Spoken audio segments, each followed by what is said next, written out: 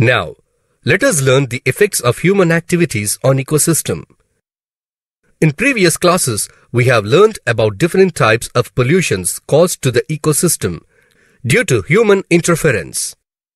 Here, we shall try to understand the harmful effects on organisms at each trophic level caused due to cutting down the forests, polluting water sources, and how this affects organisms of each trophic level. Let us talk about Kolleru Lake to learn and to understand the components of our environment, their interactions, and effects of human interference.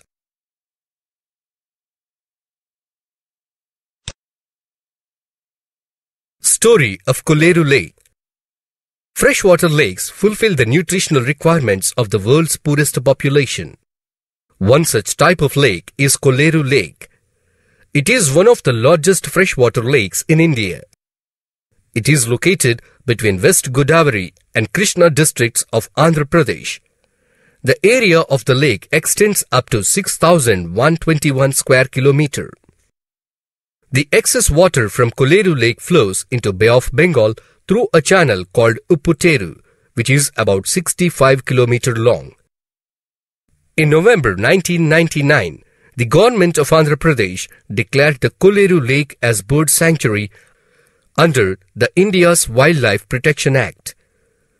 Because this lake hosts 193 species of birds and a variety of flora and fauna along with some medicinal plants. During the months of October and March every year, it attracts large number of migratory birds from Australia, Siberia, Egypt and Philippines. The estimated number of birds in these months is 20 lakhs and includes species like penbill storks, painted storks, glossy ibises, white ibises, teals, pintails, shovelers, red-crested pochards, black-winged stilts, avocets, common redshanks, wigeons, gadwalls, and cormorants among others. But from the last few decades, this largest sweetwater lake is facing great threat due to pollution. This was revealed by satellite pictures. The decrease in water area and muddy ground in the lake resulted in flooding problems in the lake area. Now, let us observe and compare the area of lake in the year 1967 and 2004. The table shown on the screen gives the area of lake in the year 1967 and 2004. Aquaculture in Kolleru Lake started extensively in the year 1980, which later spread to the other areas of Krishna Godavari deltas. In the year 1996, almost entire lake was brought under cultivation and bunds were constructed to store the water for the protection of crops. This deviation has affected the natural flow of lake. In a short period of time, agriculture and aqua industry has grown rapidly in the catchment area of the lake. As a result of this, the pollutants from agriculture containing agrochemicals, fertilizers and industrial wastes containing chemical residues and different types of organic substances and municipal and domestic sewage have entered the lake through drains, exit point for wastewater and rivulets stream of water. The excessive addition of nutrients, especially from anthropogenic sources, led to explosive growth of weed. Example, Eichhornia, the water of the lake turned more alkaline in nature, turbid, nutrient-rich, low in dissolved oxygen DO, high in biochemical oxygen demand BOD due to this explosive weed. As a result of this, the local inhabitants suffered from the waterborne diseases like diarrhea, typhoid, amoebiasis and others and vector-borne diseases such as viruses. Prawns and fishes have been found to be affected by several diseases due to the lands being abandoned. These abandoned lands are useless for agriculture also. The table on the screen shows different activities in the lake and their influence.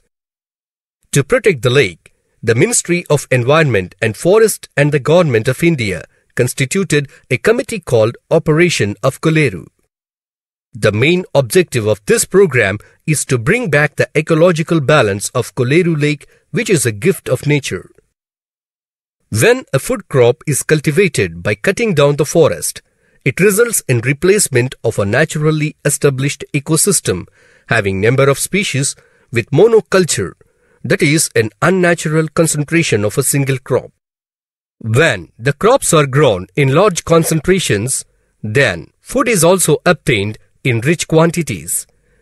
This situation in turn helps the pests and parasites like fungi to grow on this. Toxic chemicals like pesticides, herbicides and fungicides are used to eliminate these pests and parasites. Most of these chemicals will be very effective, but they in turn create new problems. The perfect pesticide is one which destroys the pests and do not cause any harm to other forms of life. Let us learn how pesticides affect food chain and food web. When we spray the pesticides on a crop, not only the pests but a vast number of living organisms are also destroyed. Some of these include predators which feed on these pests. Others may be the prey for other animals. This leads to unpredictable changes in food chain, thus affecting the balance within the ecosystem. Some of the pesticides and herbicides are degradable, that is, they broke down into harmless substances in a very short period of time, usually a year. Others are non-degradable and are potentially dangerous. They include mercury, arsenic or lead. They accumulate into the bodies of animals and flow through the food web. If we concentrate on the food web at each step, the animals present at the top of the trophic level receive considerable harm. The process of entry of pollutants into food chain is called bioaccumulation. The tendency of pollutants to concentrate as they move from one trophic level to another is called biomagnification.